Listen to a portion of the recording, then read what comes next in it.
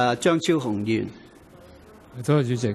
誒、主席，你上次自己裁決自己冇利益衝突，就即係所以要繼續主持會議，呢、個係唔適當嘅。咁啊、今次我哋攞出嚟要表決呢樣嘢咧，即係我覺得係應該嘅。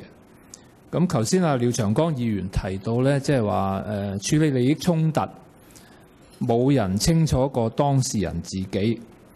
呢個咧作為一個即係師德，一個自己要誒遵守一啲誒道德或者係誒紀律，呢個係重要嘅。不過我哋呢個係立法會，立法會咧係要向面向公眾。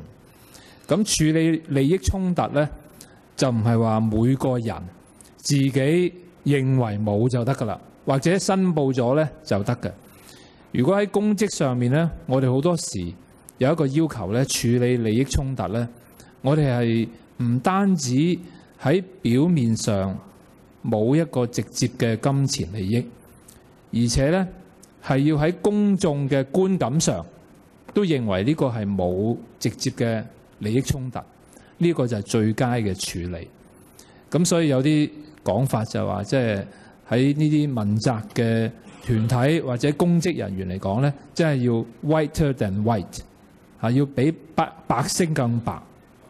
個意思即係話，仲要係喺公眾個觀感上面，唔係話啊我自己行得正企得正咧就冇問題噶啦，所以冇利益衝突。呢一個處理咧，唔係我哋公職人員處理嘅原則嚟嘅。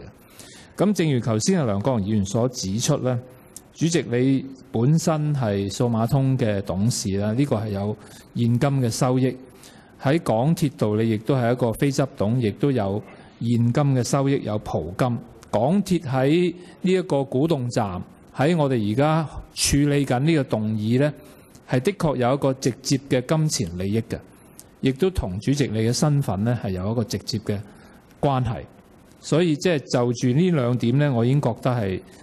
係一個直接嘅金錢利益嘅關係。